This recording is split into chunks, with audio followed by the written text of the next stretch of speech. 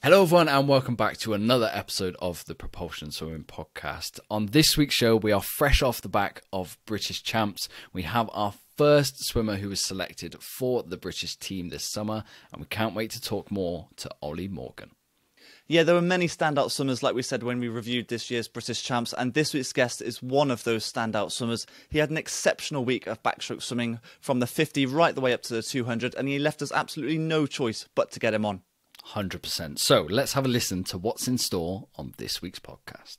Yeah, I think the main thing is there's still so much that I can kind of progress with, whether it be yeah, training hours or meters or you know anything to do with training. We've got so much to play around with, um, and we're still definitely learning about how I train best and what works for me. Because, well, yeah, realistically, I've had one full season, and this is well, this is my second actual season of swimming. Yeah, I think me and Gary have spoken about it. Um, it's just about kind of swimming your own race, uh, let not letting the occasion get to you, and going out there and again just enjoying it. So, please welcome on to the podcast this week Uni of Birmingham swimmer and the new British champion in the 50, the 100, and the 200 metres backstroke, Ollie Morgan. Ollie, thank you for joining us on the podcast this week. How are things with you? Yeah, really good. Uh, came off the back of champs and had a bit of time to kind of regroup and kind of evaluate what we what we did at champs and so yeah, back in training this week and yeah, it's feeling good. Yeah, a bit of a surreal experience coming away with three golds, I bet. Um, bit of a, I don't know, a, sh- a shock to the system after champs. Yeah, definitely. I think uh, I definitely knew there was going to be some good swims, but to then be yeah the triple backstroke champion, I was just like yeah, it was just we, well we took it we took it each day as it came, and yeah, I'm not really too sure how it's happened, but the the work's paying off. Yeah, here we are. Here we are. yeah. Now, before we get into your performances at champs and kind of reviewing the week with you as it went, I think it's worth kind of going into a little bit of a background in swimming or your background in swimming because to many people you will be a new name in Team GB this summer. So, where did swimming start for you? What clubs have you been through before you got to Uni of Birmingham? Yeah, so you know, you start off as a kid as yeah, just swimming lessons. So it was just at my local swimming um, like leisure centre, uh, which we only have a, a 20 metre pool. Um, so it's a really really old kind of back in the day pool. Um, so I went through all of that, and my sister was swimming at Ludlow Swimming Club, and I was kind of I was kind of interested in football and my dad was into mountain biking, so I was into that as well. And swimming was kind of wasn't really uh, one of my main focuses. And then you know you end up at competitions for the weekend, and I kind of fell in love with it and thought I want to get involved with that, and that's kind of how I started. So yeah, I've been at was at Ludlow from probably the age of ten or eleven, and I was there up until I moved to uni. Now, apparently, you've only been training seriously for 18 months. Is First of all, is that true? So yeah, realistically, first year of uni was the first time I had an actual program. Um, back at my old swimming club, we well, I trained probably three, maybe four times a week, uh, all evening sessions, no mornings. Um, I was probably only doing three k a hmm. session, so really, really low meters. But then it was kind of backed up with the other sports that I was doing. So like, yeah, I was out on my mountain bike a lot, so I obviously had that base work in there. Hmm. It just wasn't, yeah, in the pool. Was the pool work more sprint based stuff then? In terms, if, you, if you're going mountain biking, that's more aerobic sort of side of it. So the Yeah. pool stuff would then be more sprint based. Would I be right in saying that? Yeah, I would say so. We didn't really do too many like heavy blocks of kind of Okay. yeah base work and things in the pool.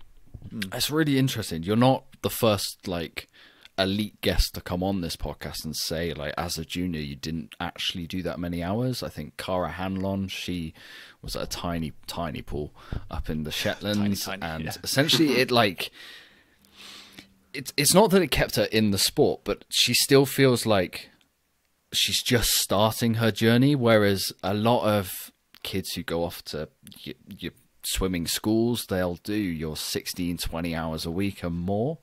Whereas, do you feel like now you're at Univer- University of Birmingham, you don't have a massive amount of miles in your, your shoulders. You're you're refreshed. There's so much future ahead of you.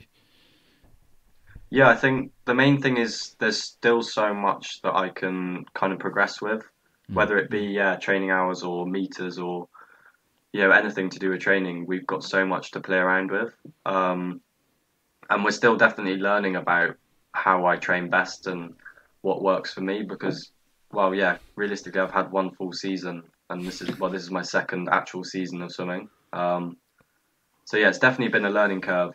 Um, when I first when I first joined uni, you know, I came Gary Gary had seen me race back at the festival of swimming, Mm. and he I raced the hundred and the two hundred, and he was pretty pretty chuffed with the times that I went, considering we'd just come off pre post COVID, and he was like, I've never seen someone swim just like that, just like with catch on the water and things like that. Mm. Um, he was like, yeah, you've just literally built this 200 and Mm. dropped everyone else out of absolutely nowhere. and uh, he was like, yeah, you've got to come. You've got to come realistically. Um, and my sister, my sister was at Birmingham as well, so that's kind of how I'd been in contact with him. Okay.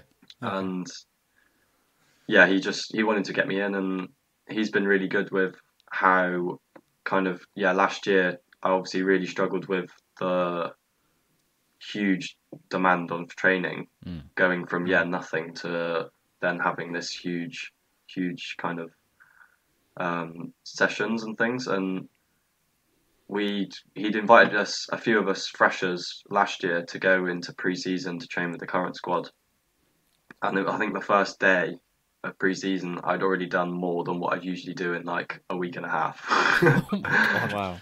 So it was like, yeah, it's been it's been definitely a learning curve, and you know he's been really good with adapting my training to how I'm how how I'm feeling and how I'm training. So Yeah. How how did you help, or how did he help with that transition then from quite a small meterage program to what is, I presume now, how many hours a, a week are you doing now? um, I'm not sure on the exact amount. It's prob- I do about eight sessions here Okay. or there. Um, How- yeah, how- they're between an hour and a half, two hours. How did he help with that transition? Was it an easy term, kind of building up to it? Was it throw you in the deep end? Um, well, I was kind of, I guess I was kind of thrown in the deep end. You know, I wanted to be there as much as I could. Mm. Um, you know, I'm one of these people that I always want to train as hard as I can all the time. And him trying to rein me back and say, no, come on, we need to be sensible. It was almost frustrating, yeah. But, um, you know, he he jotted down, like, he kept a track of when I was ill and things, and it was getting like every three or four weeks Okay. um, which was just having a big impact, just like colds or little niggles.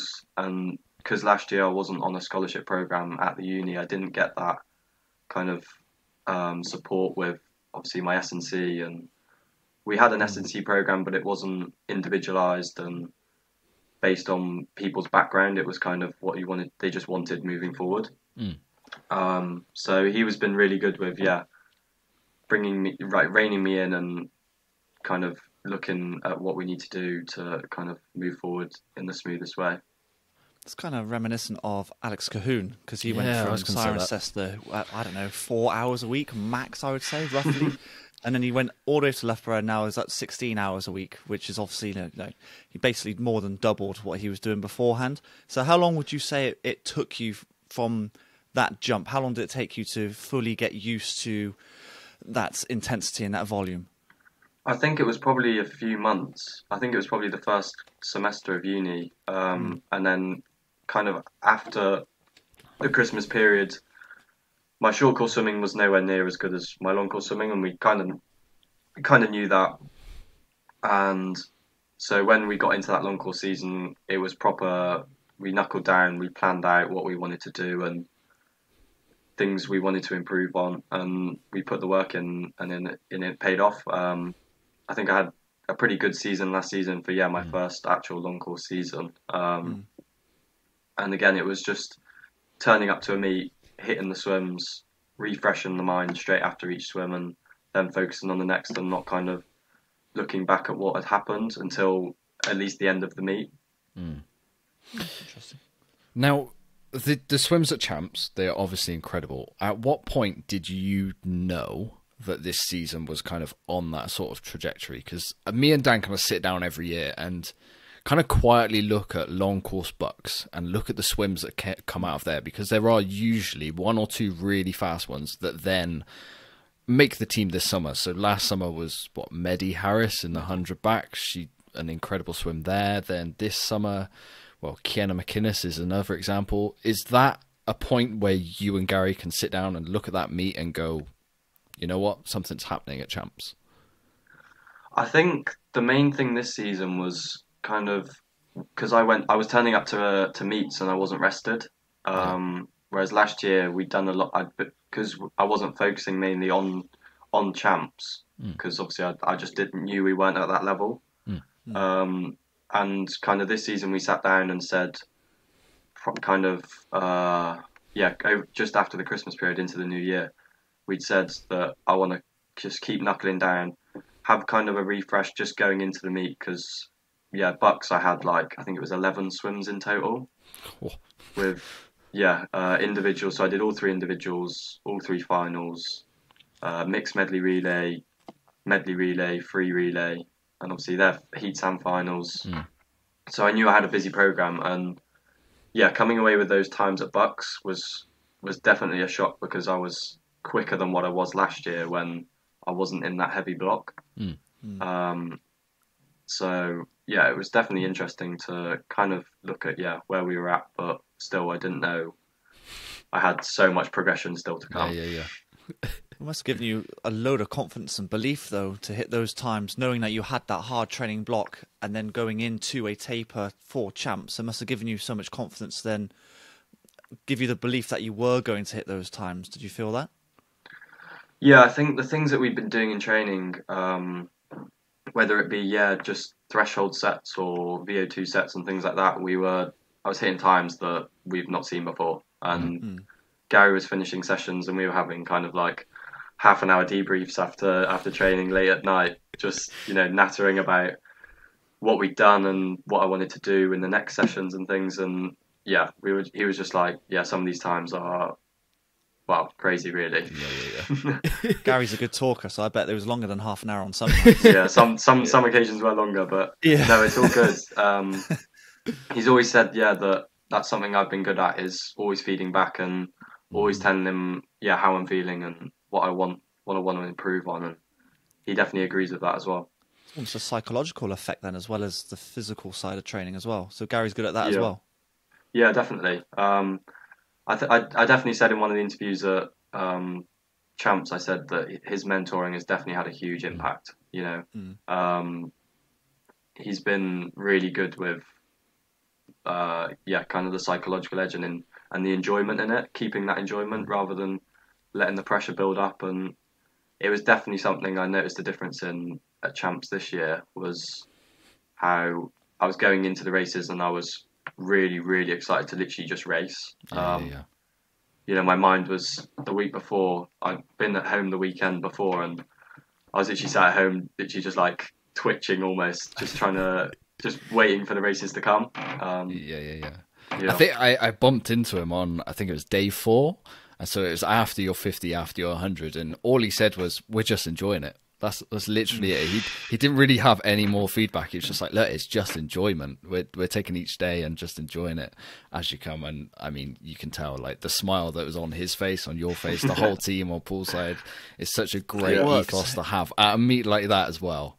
It's incredible. Yeah, yeah. yeah. Um, should we go through your swims at champs then? Because we're in the lovely position for my OCD that chronologically it goes 50, 100, 200, which is brilliant. So let, let's start with your 50 then. On paper, kind of going into the meet, there were, I think, entry times 15 swimmers separated by less than a second. So, mm. kind of, yeah, on paper, expected a fairly close race, but it wasn't anything of the sort. You went the second fastest time a Brit has ever gone, fifth fastest this year. You couldn't have asked for a better start to the meet. Yeah, definitely. I think it was the first, the, yeah, the heat swim. You know, I finished the heat and looked up at the board, and I was like, yeah, I was I was in shock to be honest. Um, I knew, yeah, we knew that I was going to be quick, but 25-0 in, in a heat in the morning was mm. quite the improvement. I mean, I think it was over half a second PB from what I'd ever done in a morning swim. Mm. Um, Did you have to um, kind of stop yourself tightening up in the final? Bit of pressure after that kind of heat swim straight away because 50s is quite hard to go faster in the final. Yeah, yeah. Um, we kind of knew I had a bit of bit of time here or there to, to take off, um, whether it be yeah through the breakout or yeah in the finish. Um, we kind of knew that there's always time to take off, um, and it definitely showed in the final. It was probably one of the worst uh, swims I've actually done, considering I scraped into the lane rope and was- felt like I I, was- did a huge glide into into the wall. I was just about to Um, bring up that, that, that little collision you had with the lane rope, um, which obviously cost you, I don't know, a couple of hundredths here or there, you know. Um, we did see a few swimmers do that. We saw Abbie Wood do it, I believe, in the 200 IM, I think it was. Is it quite tough to swim in a straight line in, in lane four as well Um, at Ponds Forge? I think it's just how the lighting, because you have that the big lights on that one side possibly, and yeah, added in with the splash and yeah, it's kind of it is challenging sometimes. Now, Yeah. it, it's a little way away yet, but is Liam Tancock's British record in your sights at all? Do you look at the 50 now? Do you focus on the 100?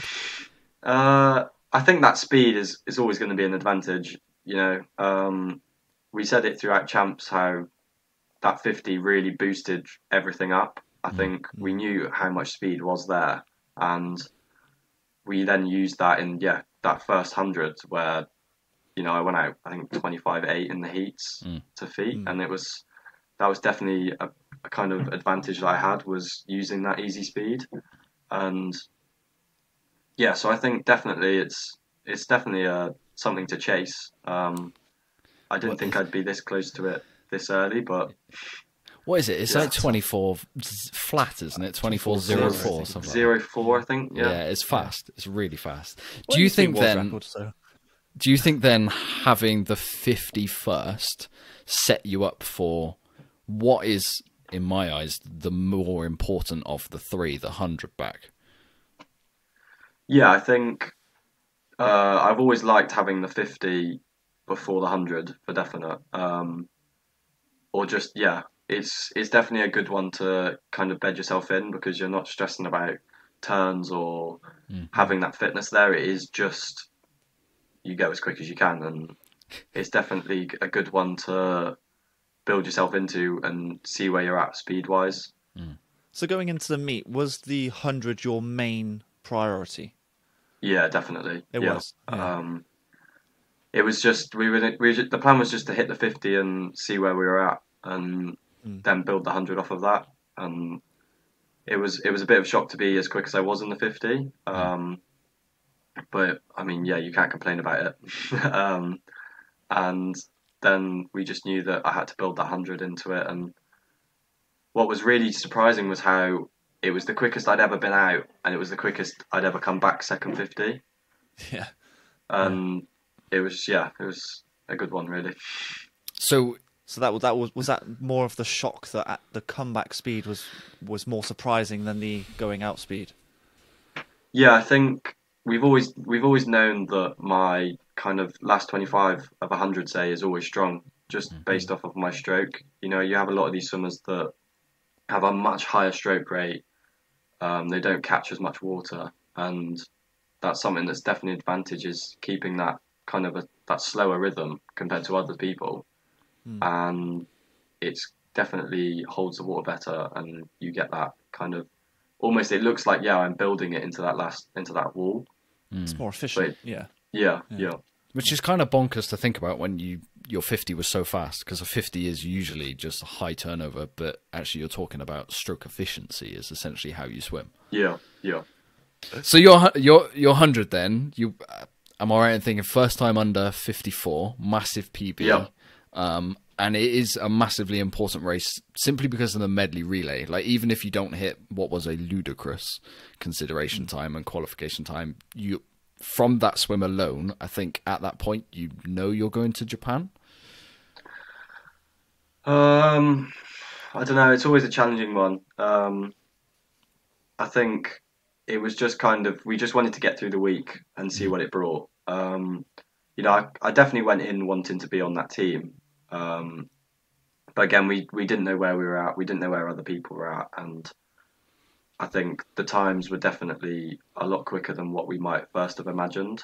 Mm. I mean, yeah, to drop a, a whole second PB in a heat swim um, was definitely a shock, and I think it has it has obviously showed how much work we've put in, um, how much I've looked after myself, um, and it's definitely a bonus to be in and around those 53 highs. But again, it's there's still way more that we can look to take off.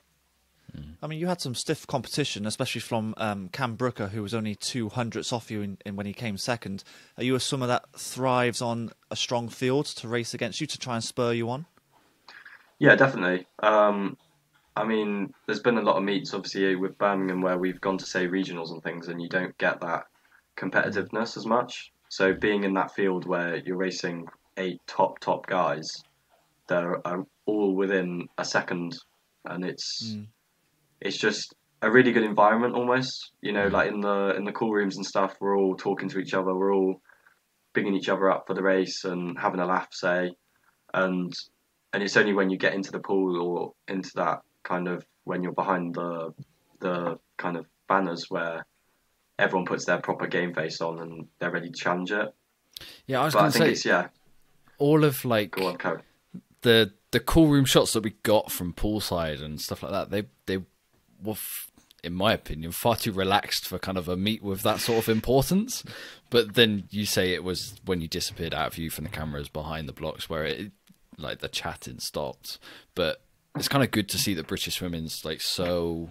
There's no animosity between anyone, even though there's so much importance on the line, especially for that hundred back. Yeah, definitely. You, it's def, yeah. Again, it's a good environment to be in where everyone, you're all chasing the same goal. You all want that selection on the team, and you all want those opportunities to race. But it's definitely, um, yeah. If you look at it from the perspective where, yeah, you're all chasing that same goal, but you're all pushing each other on. You're always pushing the limit, and I think having those consideration times and qualifying, qualifying times being so fast definitely pushed the limit on a lot more. You know, you could say the Fina the Fina A time was a 54.0. Yeah, yeah. A lot of people could have been around that, and having those really fast times is it's yeah, it's pushing the limit and showing people that yeah, you can make a Fina A time, but you look at the top swimmers in the world. You know, Hunter Armstrong's going 52 mid at this time of the year. There's a lot more top guys out there, and that's where they want us to be.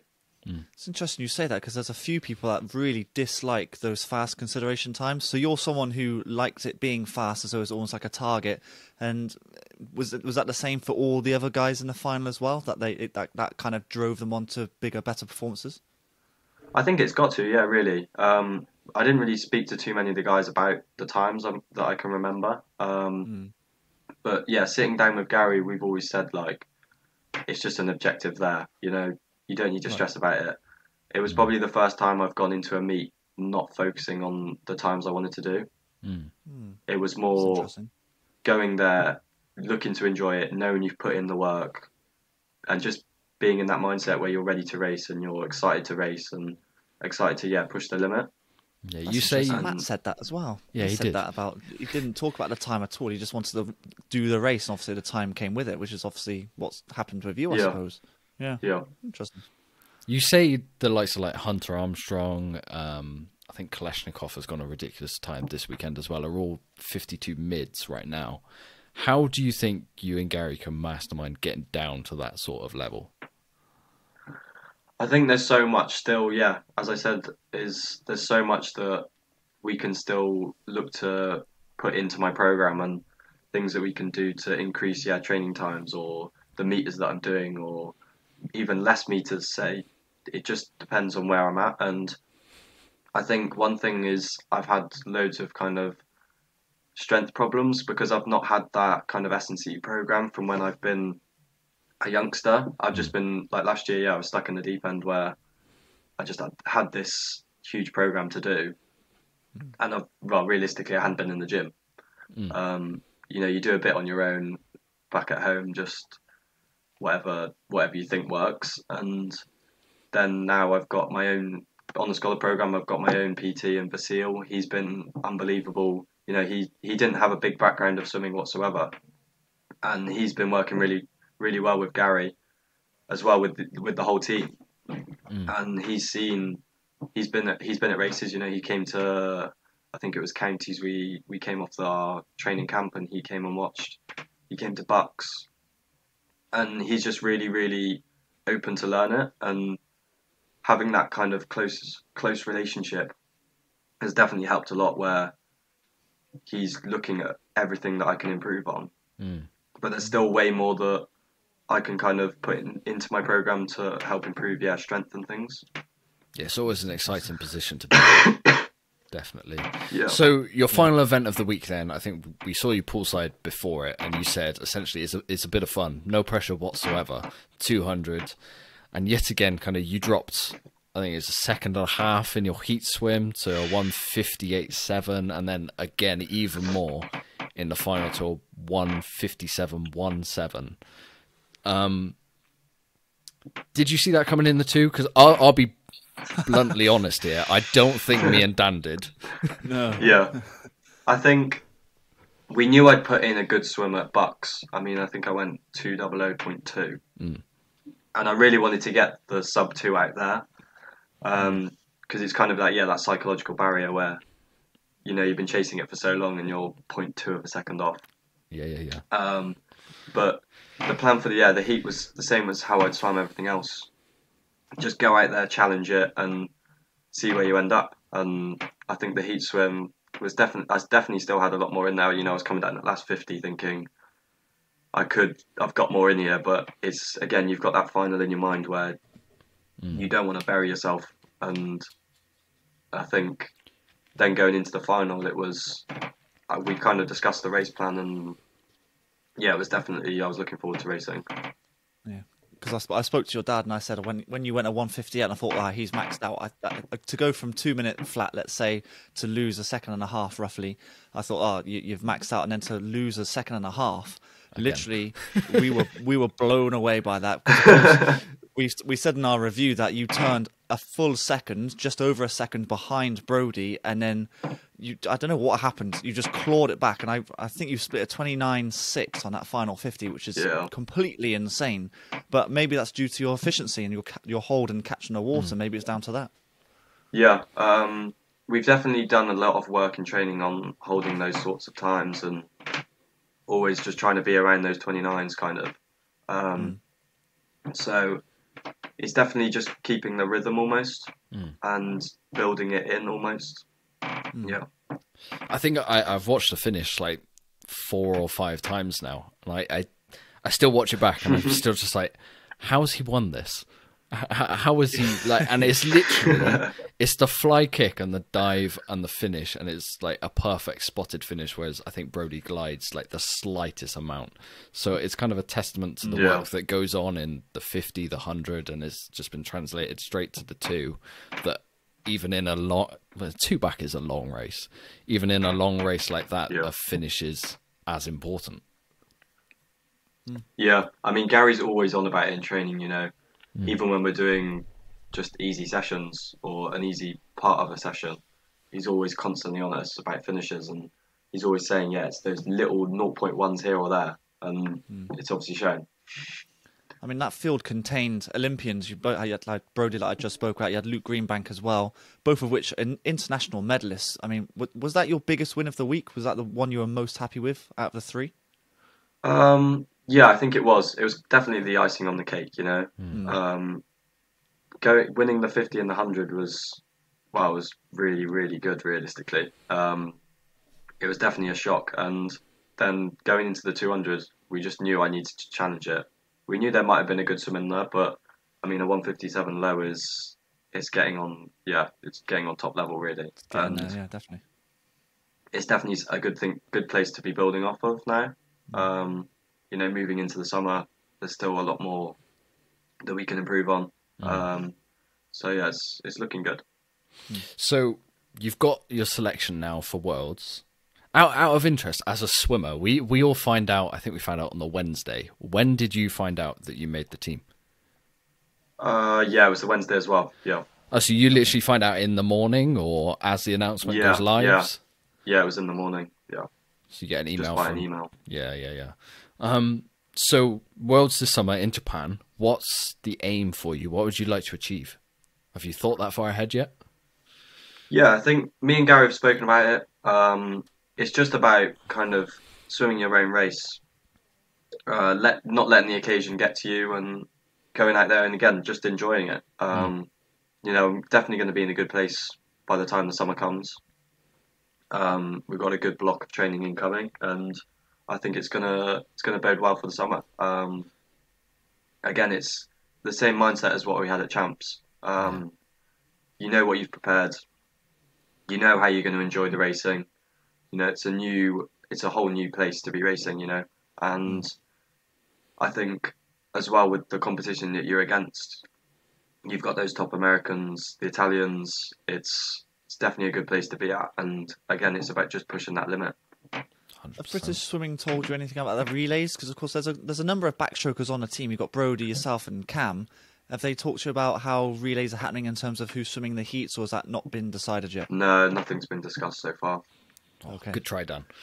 I was good trying. yeah. Oh well, Ollie, it's been so great speaking to you on this week's podcast, kind of reviewing what was an amazing weeks at Champs. Now we do usually finish with our elite guests with some quick fire questions, so we'll Yep. jump straight into them. So, what is your favorite event? I think it's got to be the hundred. You know, it's you can use that proper good speed down at first fifty, and then it's just about holding on. And mm-hmm.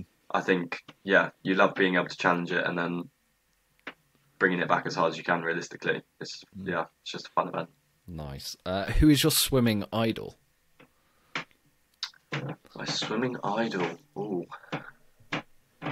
Um, I think, yeah, from a young age, you obviously watch Michael Phelps, and again, you show he's literally pushed the limit of swimming to a whole nother level. Um, you know, was it was it four Olympics he was at? Five Olympics? Five, yeah. Five, yeah, and it just shows. Yeah, he's obviously had that mindset of always pushing the limit and focus, not focusing on the results as such, but focusing on where he is and what he needs to do. Um, Mm. because like yeah, you can't imagine the limelight that he's in, and you know the stresses that he has on himself to perform constantly. And I think yeah, he's definitely had that mindset of not letting the, the occasion get to him, and yeah, so I'd say it's kind of the same mindset that we've had is yeah, just focusing on where you're at and what you need One to do, and then yeah, seeing seeing what comes with it. Nice. Um, what's your proudest moment in swimming so far? Uh, hmm. I think yeah, champs probably is definitely the best. Just the whole Um, thing. No, I've had a lot of yeah. Realistically, um, coming off of other meets, it's been really good. But to have a meet, then moving into a international meet, it's and getting that first selection, I think that's definitely the the top moment. You know, um, we obviously had Indianapolis at the World Cup, but it's not the same as yeah being actually selected and being on that program to get you there. Yeah. Nice, nice. Uh, what's the hardest set Gary's ever handed out to you in training? Oh, the hardest set. Oh, we do have some. We have some lactate sessions that are pretty, pretty, pretty rough. Um, I think one was we had six one hundreds max uh, off like seven minutes, say. So you, Oh, I hate it. you you get in and you bang one out, and then you have to just stand around and let yourself marinate almost. Yeah. Um, but again, we do that, and then there's there's an, another couple lads that we always try and challenge each other, and we might go for some fifties afterwards, and just yeah, proper bury yourself. Yeah, it's all good fun. Do you know what we've had? We've had Gary on this podcast and asked him what the hardest set he ever handed out was. So it'd be interesting to see if they line up. Um, yeah, and final question set, then. yeah. It's I think it was I think it was a distance set that he'd he'd, Yeah, he'd said maybe. about. I think he literally handed it out that morning that we had spoken to him. Yeah, yeah. Um, and final question is a little bit away from swimming. It helps everyone get to know you that little bit better away from the pool. If you were to go on a road trip, there's three spaces in the car. You can take friends, family, celebrities, anyone you want. Who would you take with you? Um, oh, I think. Can my first one be a group of people? yeah, go for it. We'll have a big Um, car. so so we have a we, we have a, a WhatsApp chat for my swimming. Basically, you know, live links get put on their results, Right. and I think that's been definitely something that's helped me through meets and stuff where you've got this huge amount of people supporting you, family, friends, um, and yeah, it's really nice to see you've got all those people supporting you. Mm. Um, I think next, I think it's got to be. I'd probably go for Lewis Hamilton. To be fair, Is he driving? um, That'd be yeah, he's drive. I driving, would yeah. probably let him drive. If not, I'd drive. Yeah. um, yeah. Again, another one that's yeah pushed the limit in the sport. Um, Mm. And finally, um, oh, I don't know. I'm not sure. Uh, I think it it might have to be Michael Phelps. Yeah. nice. Again, Nice. you learn off them. Invi- surround yourself with those people that you can learn off, and yeah. Sounds good. Well, Ollie, More of a minibus. It's all right, that's all that matters. Ollie, thank Yeah. you so much for coming on to this week's episode of the Propulsion Swimming Podcast. Best of luck with your next training block heading into Japan, and a massive congratulations on your performances at Champs. Thoroughly deserved. thank you. Yeah, congratulations. Hopefully, Gary doesn't put too many more of those six 100s up because it, it sounds like I, I get these little flashbacks of, oh, how, how I used to hate them. I was always sick. But yeah, congratulations on uh, on amazing champs. And yeah, good luck for, for the summer. I think we're, go, we're going Yeah, to do quite you. well. Yeah. Yeah, hopefully. Dan, great to have on one of the swimmers of Champs, no doubt about that, and to hear the fantastic work that's going on behind the scenes and the fact that he's only been properly swimming now for 18 months. I know it it sounds like a surprise, but actually it's a little bit of a theme coming through from a few of the swimmers we spoke to. Like you said in the podcast, Alex Cahoon is now Yeah. what 18 months into his life at Loughborough and he banged out a 22-1 in the 53 you've got Kara Hanlon who's hitting records like swimming doesn't have to be hours and hours and hours as a junior and these swimmers Ollie especially are proving that I wonder if these younger swimmers, if they're doing these laps upon laps upon laps, are over exhausting themselves. It's almost like they're Well, pushing themselves I'd too early. Um, not to the point of burnout because some of these the swimmers are still going, but you know they they the the potential of not pushing themselves further. Uh, they they they kind of get rid of that a little bit if that makes sense because there Well, you- there's no there's no progression. That's what I'm looking for. There's no Yeah. progression in their training. You know, got there eventually. well you don't win are very unlikely that you win Olympic gold at like 14 15 16 hmm. but if you're Summer McIntosh you probably do. But the whole point is to keep swimmers in the sport and by the time then you're you're a grown man like Ollie is now there's still so much more to add on top. And I I really do like that like I said it's a theme we're seeing on these elite swimmers. It it's kind of a good model that I think more people should maybe be looking at.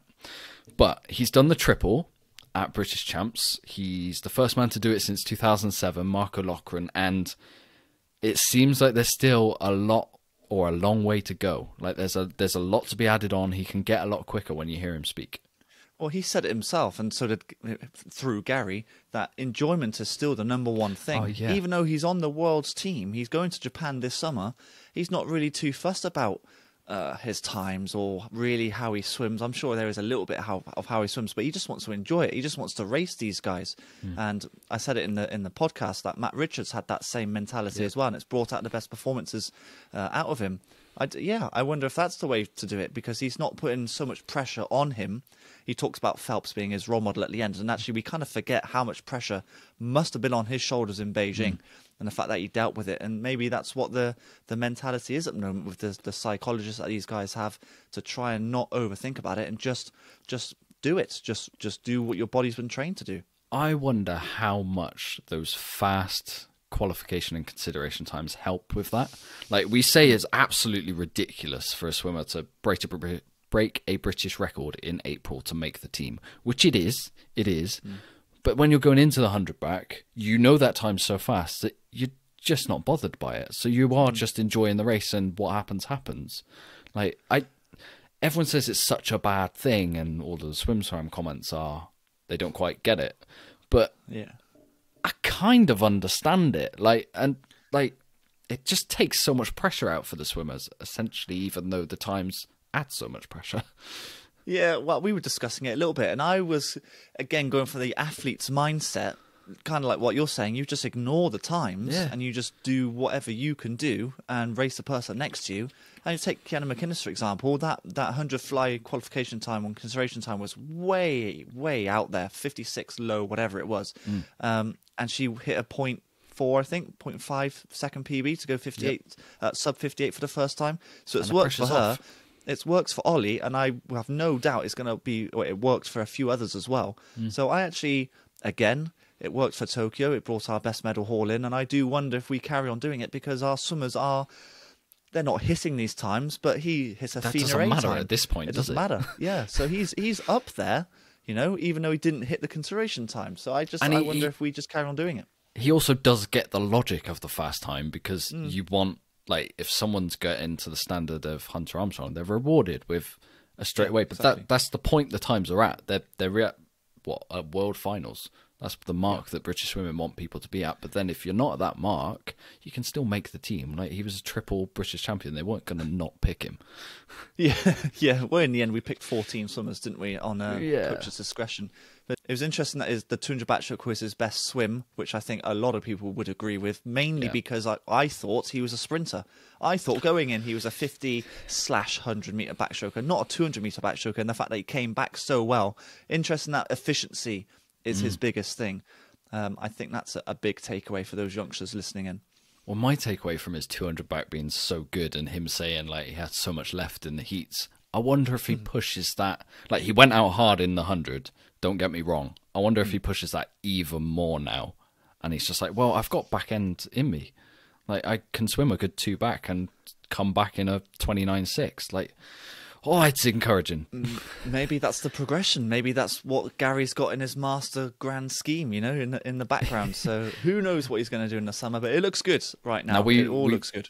we've talked a lot about Gary Humpage in this podcast. If you mm. haven't, if you're not aware of the work that he's doing up at University of Birmingham, go back. We spoke to him in February. We kind of had a little inkling that something was going on, something was special there. We've had, I think he was recommended to us by a few coaches on poolside that he's one of the nicest guys. He's doing something special. Go have a listen. We'll link it in the show notes. If you can't find it, it should be easy enough to find. Um, but yes, first guest, post champs, selected one to the team. There are two more, hopefully on the way very soon. So if you haven't subscribed already, please do so on YouTube, Apple Podcasts, Spotify, wherever you get your podcast.